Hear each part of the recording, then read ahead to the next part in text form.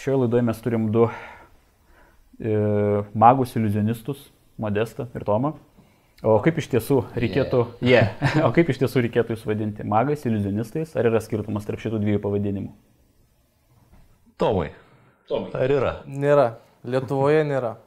Mhm. Aš galvoju, mus vadina įvairiais - sukčiais, melagiais, apgavikais, šuleriais, iliuzionistais, magais, Stebukladariais. stebukladariais. Jo, ir visi jie iš esmės yra kažkiek teisingi tie pavadinimai. O ką, ką tarkim, gali veikti magai, iliuzionistai, šuleriai, stebukladariai vestuvės šventėse? Koks yra jų vaidmuo tenai? Tai stebinti, stebinti žmonės. Tai, tai yra mūsų pagrindinė užduotis ir iš tikrųjų netie gal, netiek susitelkiam mes į, į pačius triukus, sakysim, jų, jų sakysim, kiekį ar, ar dar kažką, kiekį nuotaikos kūrimą tais triukais. Daug kas, pavyzdžiui, būna, kad e, paklausia, va, tai kokius triukus daro ten, aš matau, ten ką naudojat, ar ten kortas, monetas, virves. Bet iš esmės e, ne, ne į tą reiktų labiausiai kreipdėmėsi, nes visgi, na, jeigu, tarkim, samdaisi kažkokią atlikėją, tarkim, dainininką, ar ne? Na, neklausi, tarkim, koks tavo repertuaras, kokią tu ten maždaug dainą po dainos dainuoji. Nu, gal gali paklausti, kad va, tą bendrą vaizdą sudaryti, bet iš esmės, nu, tu samdai atlikėją, kad jis tau suteiktų kažkokią emociją. Ir manau, kad jeigu tau atlikėjas patinka, vis tiek kažkiek pabendrausi, jo žinai, kaip jis, nu, tą, jo kalbėjimo manierą, ten humoro gal kažkiek. Tai jeigu tau patinka iš esmės, tai turėtų patikti ir visas pasirodymas. Po pusės metų kokių žmonės, sakysim, neprisimins nei vieno triukų, nu, prisimins vieną, du, vieno, Vieną, dviejų, du. vieno dviejų triukų fragmentų, sakysim, bet prisimins, kad tai buvo labai linksma, labai gerai ir, sakysim, iliuzionistas uh, dovanoja, dovanoja žmonėms, sakysim, pasamdė iliuzionistą, uh, jaunieji padovanoja savo svečiams uh, prisiminimus, kurie yra nu, geriausias suvenyras, kurį jie gali išsinešti iš tų vestuvių. Aš labai nuoširdžiai įsivaizduoju, kaip dažnai jums tenka darbį išgirsti du klausimus. Tai pirmas būtų, ar galite pradanginti mano žmoną? Ir ar galite papasakot, kaip daromas vienas ar kitas fokusas? Tai čia tas su žmona klausė, ne? iš tikrųjų vat, keista, bet tas kaip pradanginti žmoną, ar galima pradanginti žmoną, tai da, dažniausiai užduodamas per vestuvės. Aha. Ja, kas paradoksalu. Aš pat rečiau sulaukiu dėl to žmonos, nes kažkaip visgi lietuvės yra gra, graž, gražios moteris. Tai... Nes šiaip man tenka dalyvauti ir, nu, na, užsienyje tokius, kaip sakant, vestuvėse. Tai Tai ten dažniau prašom. ten, ten būna, kad dažniau, bet, na, na pavyzdžiui, tarkim,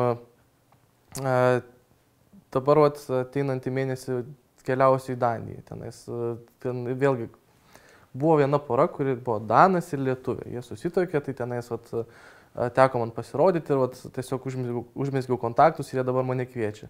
Na, kiek man teko būti, tai, na, Lietuvės šiek tiek gražesnis yra už, už Danijos merginas. Tai gal dėl to mažiau, bet šiaip dėl to slydimo, tai Tai Danijai sulauksi šito prašymo. aš manau, kad bus koks vienas. Iš, iš, iš tikrųjų tų klausimų būna tokių pakankamai nemažai. Iš tikrųjų, galima topą būtų Einam į sudaryti. kazino maždaug, davai. Tai Jo, topas. Koksai topas, modestai? Topas koksai. Aha. Uh, tai, okei, okay, pradanginti žmoną, ne? Aha. Uh, nu, nebūtinai pirmas, jisai gal iš 10 litų padaryti 100. O. Šitas. Tada dar būna, tarkim, Pas, ne, paskui dar vienas populiarus toksai lietuviškas iš vandens alkoholį. jo, tas dažnai. A- Alų arba vyną. Atvirkščiai neprašom. Ne, atvirkščiai neprašau. Gaila. Bet, bet aš sakau, kad jau vienas uh, toksai žmogus jau darė iš, iš vandens vyną, tai Maždaug jo, jo triukas toks, ar ne? Maždaug tegul jisai. Tegul jis ir daro. Jo, jo reputacija, kaip sakoma, nes. Taip. Ja, pa, paskui ką, ką dar prašau, palauk. Aš nežinau kaip to, bet manęs labai dažnai sako, tai einam į kazino. Jo, jo, žiauriai dažnai. Ir sako, turbūt tas neįleidžiai Jo, kazino. šitas be Kas šiek tiek prieštarauja vienas kitam, bet maždaug taip sako. Ir kas dar? Nu, parodykit, kaip atliekamas vienas triukas. Ai, Nu, jo, jo, ar jo. negi sunku pasakyti? Ne, jo, sako, sa, Ne, sa, ar gaila? Gaila. ne, sako, o kaip jūs tai padarot? Ir aš visą laiką galvoju, ar žmonės iš tikrųjų galvoja, kad mes pasakysim, ar, ar jie tiesiog klausia. Labai geras atsakymas yra, sako, kaip tu tai padarai, sakau, nežinau, pirmą kartą išėjo. žinai. Aš tai sakau labai gerai. Žodžiu, yra tokių šmikščių atsakymų, bet, na, Bet šiaip, aš nežinau kaip tu, bet jeigu tarkim manęs ten labai ten prašo, tai aš kokį dieną pamokau. Ne, taip, taip. Man, manęs, vat, pavyzdžiui, vakar irgi po renginio prie merginos ir, ir sako, tu gali pasakyti, kaip tu tai padarai. Sakau, jo, bet sakau, yra viena bėda, kad merginos tikrai gerai moka laikyti paslaptis būreis po 30. tai sakau, nu, niekaip šiandien. O ar apskritai publika dalyvauja, sakykime, jūsų pasirodymė? Ar reikia įtraukti publiką jaunuosius, tarkim? Bekompromisiškai. Gal iš tikrųjų nuo to reikėjo pradėti, prasme, ką mes apskritai veikiam per vestuvės, mes čia išnekam maždaug kaip būna ar kaip nebūna. Tai, uh, pavyzdžiui, aš asmeniškai tai dažniausiai darau arba tokį bendrą pasirodymą, kaip aš vadinu, na, greičiausiai, vat, kaip esat matę ten, kaip būna atsistojant scenos, vat, ar šiaip kokiai matomoje vietoje, nes, tarkim, būna, kad kokiam kokioj ten, tarkim, salėje ne visada būna ten tos senos, bet tiesiog šiaip kur matytų ir girdėtų, nes ten didelių reikalavimų nėra iš tikrųjų, kad tas matymo laukas ir kad gerai girdėtų. Ir tiesiog tada pradedu rodyti aš programą. Yra sceninė magija, yra magija iš arti, galbūt kamerinė tokia magija, tarpinis variantas. Ir sakysim, sceniniai magijai, kai atlikėjas yra scenoje, stovi šiek tiek toliau, jisai gali, sakysim, rodyti tokius numerius, kur nereikalauja publikos įtraukimo, rodyti savo įgūdžius, traukti iš oro skareles, kamoliukus, kortas. Tuo tarpu mūsų, sakysim, toksai gal labiau žanras, tai yra magija iš arti arba ta tokia kamerinė magija, tas tarpinis variantas Prie žmonių paprastai. prie žmonių. Tai, tai šituo, šitam variante publika yra šis, apie kurią ir sukasi pasirodymas. Žmonės yra įtraukiami į jį. Ir, sakysim, triukai vyksta prieš pat publikos, sakys, netgi jų pačių rankose. Kas yra, manau, Stipriausia, kas gali būti. Kas gali būti jo. Nes kas vyksta tavo rankose, na, paprasčiausiai, jeigu tu matai kažkas vyksta, galvoji, ai, nu ten, tarkim, jeigu aš būčiau, tai manęs tikrai ten neapgautų. darytų prie manęs, tai Jo, Ar- tikrai, tik, va, būtent, o tada prieini ir, tarkim, parodai asmeniškai, tada jau, na, kaip, kaip sako, nu, tada sako, jau šaunuolis esi. Ir įspūdis toksai turbūt yra. Tada mačiau, netikėjau, dabar tikiu, bet nesuprantu, kaip čia atsitiko. E, o apskritai, tarkim, iliuzionisto pasirodymas, tai yra, turėtų būti vakaro ašis, vinis, tokia kulminacija, ar tiesiog viena iš programos dalių, kada didžiausią efektą sukelia jūsų pasirodymas? Aš manau, kad, sakysim, vėlgi, priklausomai, priklausomai nuo publikos, nuo jos norų ir, ir, ir nuo pačių vestuvių. A, Kartais vat, žmonės nori iliuzionisto programos 12 valandai. Viskas ok, bet sakau, stop, dabar kilintą jūs susirenkat. Nu, susirenkam septintą. Visi jau sėdam prie stalo. Gerai, kiek žmonių? 60. Gerai, kaip jūs prie atskirų stalelių? Ne, mes prie vieno stalo susėdam, gerai, žiūrim. Susirenkat 7 jau prisėdat. 7, 8, 9, 10, 11, 12, 5 valandos. Ar svečiai po 5 valandų bus ne ant tiek apšilę, kad jie dar norėtų pasižiūrėti valandos programą, sakysim, kokią nors. Tai čia vad klausimas, sakysim. Jeigu susirenka žmonės 10 valandai, 12, okei, okay, galima kažkokį pusvalanduką tarp. Bet 12 valandai iš tikrųjų rekomenduočiau pasirodymą, nu, 8 minučių, toks, kad būtų, vat, kaip sakai, Gedriau, akcentas. Akcentas, E, Sekantis klausimas turėjo būti apie tai, kokia optimali, tarkim, jūsų pasirodymo trukmė, vadinasi, tai e, labai priklauso nuo to, kada jūs pasirodote. Aš iš savo patirties, aš nežinau, ar čia teisinga ar, ar klaidinga, bet man yra tekę rodyti tiek, tarkim, labai anksti, tiek ir labai vėlai. Aišku, visada, bent jau mano, man, mano atveju, man geriau yra rodyti pirmoje dalyje, kuomet galbūt nėra to jau alkoholio didelio poreikio, poveikio, ne tiksliau. per daug apšilę. Bet čia yra būtent tam, e, kaip galbūt reikėtų pasakyti, tokiam bendram pasirodymui. Pavyzdžiui, aš dar darau tą vadinamą tokią mikromagiją, kaip aš vadinu tą vaikščiojantį magiją. Vaikščiojantį mikromagija tai yra tai, kad, tarkim, prie atskirų grupelių prieiti ir parodyti mini programas. Tai yra ne tai, kad, tarkim, daryti tą bendrą, vat, kad, tarkim, vat, susėda ten svečiai ir, ir, kažko, ir vat, rodyti. Tai yra, tarkim, vat, užiminėti grupelėmis. Tokiu atveju ten galima daryti ten, tarkim, kol renkasi svečiai. Arba, tarkim, per pertraukėlės, per šokius. Na, pavyzdžiui, irgi vakar, vakar dalyvau vienose vestuvėse, kur, tarkim, buvo mano išėjimas pradžiai pirmas be 15-11, kas šiaip yra man vėlokai, bet aš ten dariau apie 10-15 minučių programą ir po to dar 2 valandas užiminėjau svečius, nes buvo dar 100 asmenų.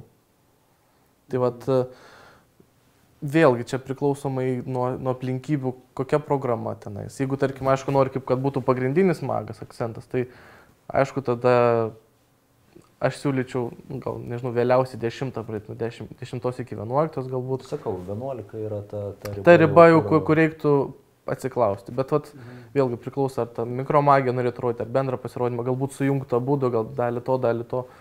Vadinasi, esat universalus atlikėjai, kuriuos įtirpti į programą galima bet kurioje vietoje. Ir bet kokią trukmę duoda. Publika, sakysim, jau apšilus, viskas su ją gerai, jinai linksma, atsipalaidavus, bet negali, sakysim, koncentruoti dėmesio į ilgesnius tokius, sakysim, triukus. Nes iliuzijos menas, magija, sakysim, yra toksai, aš, aš sakyčiau taip, kad yra tokia intelektuali pramoga, sakysim. Ja reikia, sakysim, šiek tiek, šiek tiek, šiek tiek suprasti, sakysim. Ar apskritai vestuvių šventėms tam tikrai specifikai yra kuriami kažkokie atskiri pasirodymai? Ar yra dalis, tarkim, triukų, kurie skirti būtent, tarkim, vestuvių šventėms?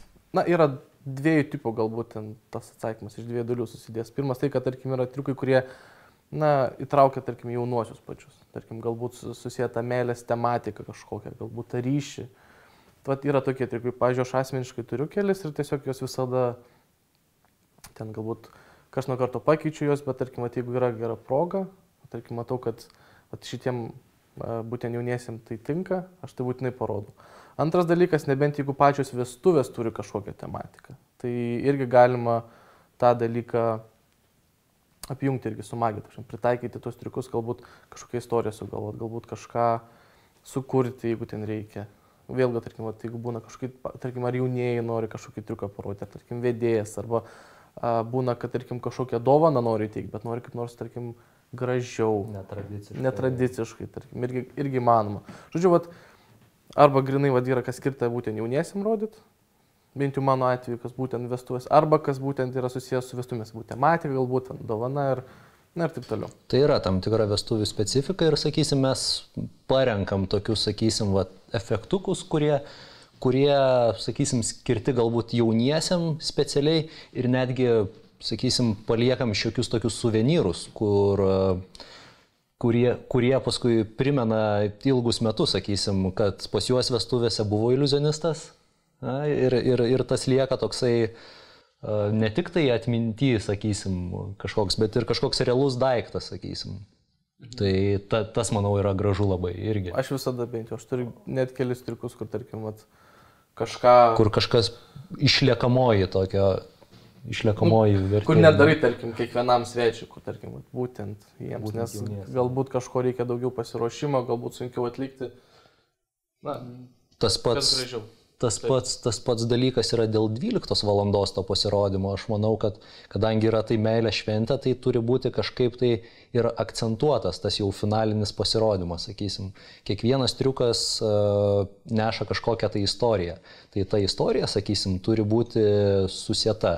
Tai ne tiek svarbu, kokį tu triuką rodysi, bet kaip tu jį pateiksi, sakysim, užgroja tinkamos fonas. Uh, tinkama, apšvietimas geras. geras apšvietimas, tinkama istorija ir, sakysim, tuo metu 12 val. kad visi suprastų, kad tai yra šventės akcentas ir paliesti visus svečius šiek tiek iš vidaus. E, bet apskritai man susidarė tas įspūdis, kad, tarkim, vat, būtent iliuzionistai šventėje yra na, beveik būtini, kadangi juos galima įdėti bet kurią programos vietą. Jie gali būti pasyvę programos dalimi, jie gali būti aktyvę programos dalimi, dirbti scenoje, dirbti ilgai, dirbti trumpai. Jie gali būti netgi finaliniu akcentu, po kurio visi sakys, wow, čia buvo labai labai gražu ir prasminga. Na, minutė minutė pagal planą dažniausiai neina. Dažniausiai kažkas gal užvėluoja, gal pankstina ten. Ir būna, tarkim, vat, tam, tam tikri laiko tarpai, kuriuos reiktų galbūt užimti.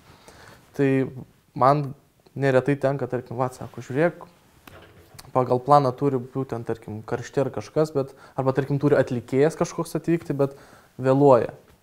Na, sako, Tomi, žiūrėk, gal gali, tarkim, savo programą šiek tiek, ten, tarkim, prailginti, arba, tarkim, gali va, dar antrą, va, maždaug išeiti kažką parodyti. Nu, maždaug, kad, na, kad nebūtų maždaug, kad sėdi visi, nu tai ką darom, maždaug nusikrapšto. Tai va, tai va dar tam yra gerai. Čia prieš metus laiko buvo mane pasamdę būtent rodyti tik mikromagiją. Maždaug tą vat, iš arti vat, grupelėmis buvo daug svečių.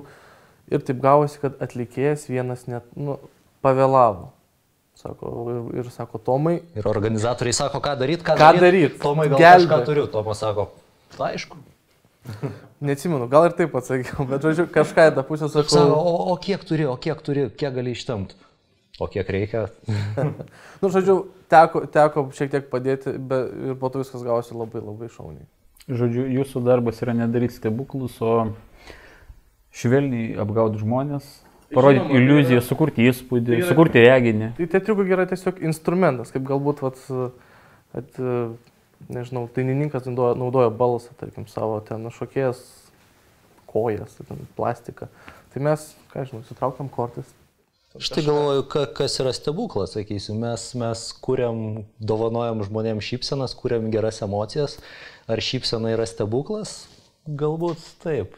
Na, tai tikiuosi- je, je, jeigu, jeigu tikiuosi, taip, tai mes stebuklą darėjai. Didžiausias, jo, didžiausias stebuklas gyventi ilgai ir laimingai kartu, jeigu jūs padedat prie to, sukurdami šventį tą reginį, vadinasi, dirbama ir daroma teisingai. Žinoma, žinoma. Ok, smagu labai buvo pabendrauti su jumis. Modestas, Tomas, šventės magai, iliuzionistai, žmonės, kurie kuria iliuziją ir dovanoja gerą reginį visiems. O dabar gražinkit Gedriui laikrodį, man piniginį. Ir 200 litų, tos, kur sudeginot per pertrauką. Tarp kitko, laikrodžius nuiminėti labai smagu, iš tikrųjų.